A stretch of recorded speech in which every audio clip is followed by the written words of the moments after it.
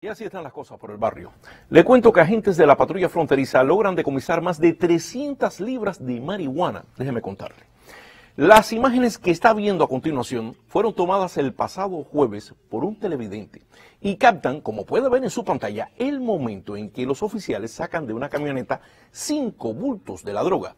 El incidente se registró en la subdivisión Villas de San Agustín el pasado jueves. Representantes de la patrulla fronteriza nos comentaron que durante una ronda de vigilancia, los agentes vieron a un conductor de una camioneta color negra en actitud sospechosa. Al intentar detenerlo, este se dio a la fuga. Luego de unos minutos encontraron el vehículo abandonado en la calle Fasken Drive por el área del parque Father McNable. Fue entonces que al hacer la inspección del vehículo hallaron la marihuana, la cual, según se informó, tiene un valor estimado en el mercado negro de más de 300 mil dólares.